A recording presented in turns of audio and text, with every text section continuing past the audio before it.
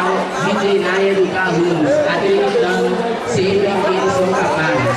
Lema, treine quando eles dormem, estude quando eles se divertem, persistem quando eles descansam e então vivam pelo sonho. Mensagem, agradecimentos a Deus, a nossos docentes e alunos e principalmente aos nossos anfitriões pela grande hospitalidade. Com vocês, para vocês, Pedro.